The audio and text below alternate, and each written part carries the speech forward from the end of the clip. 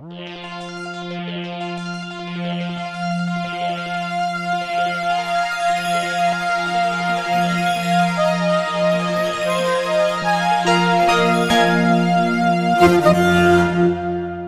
Buonasera, benvenuti ad Ancora TG, endocrinologia e nutrizione. È questo il nuovo servizio attivato dall'ASL 3 ed in particolare presso l'ospedale di Spoleto e coordinato dalla dottoressa Simonetta Marucci. Un servizio che è stato presentato questa mattina dai vertici dell'ASL e da quelli del San Matteo degli Infermi. Testimonial d'efficacia di questa nuova specialità ospedaliera è stato lo stesso sindaco Massimo Brunini che ha sperimentato in prima persona il servizio servizio nutrizionale, dimagrendo ben 20 kg in pochi mesi. Attraverso il nuovo servizio si mirerà a curare i disturbi del comportamento alimentare che riguardano molte persone anche a Spoleto e nel territorio dell'ASL 3 attraverso la medicina integrata. Per ora sarà attivo solo 12 ore a settimana, ma già la richiesta di visite è notevole. Tra i pazienti ci sono perfino alcune bambine. In questo caso, ha spiegato la dottoressa Marucci, la terapia si estende anche alle famiglie. E passiamo ora a parlare del Festival dei Due Mondi di Spoleto Spoleto che tra gli appuntamenti in programma vede un'interessante mostra. Si tratta di Womb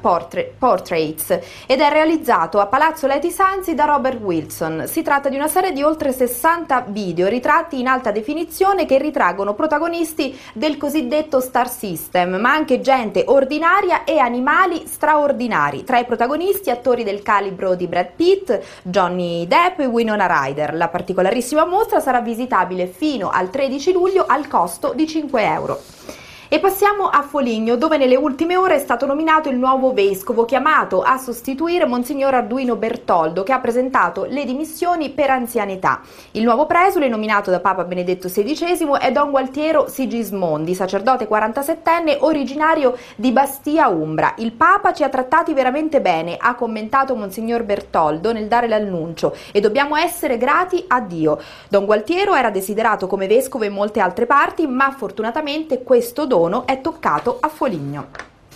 Ed ora in Valnerina parliamo di Preci dove domani prenderà il via la manifestazione enogastronomica Pane, Prosciutto e Fantasia. Protagonista di questo atteso appuntamento per la Valnerina sarà il prosciutto IGP locale, ma anche la Crescia di Gubbio e il Sagrantino di Montefalco. L'avvio dell'evento avverrà domani mattina alle ore 10 con l'inaugurazione dell'antico mulina d'acqua che ospiterà un punto informativo sulla Valnerina e sul Parco Nazionale dei Monti Sibillini. In occasione dell'inaugurazione verrà offerta ai presenti una, una dimostrazione pubblica di molitura. Il mulino di Preci quindi diverrà rilevante anche ai fini didattico-ambientali, delineandosi come una delle possibili mete da fare sul territorio alla riscoperta delle antiche tradizioni. Con la Valnerina chiudiamo questa edizione, ci ritroviamo domani, grazie per averci seguito.